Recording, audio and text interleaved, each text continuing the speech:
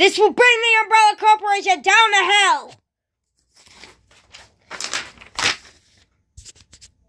And yet they exist in such a fashion. Screw the Umbrella Corporation! I think all of it matters. And it falls in the hands of Umbrella.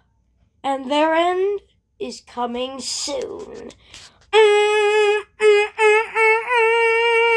Resident Evil Fall of Umbrella coming to a channel coming to a YouTube channel that you follow soon. Coming April 6th Saturday in association with Shayne Kalish Studios, associated with Monster Works and Tyrant POW Productions.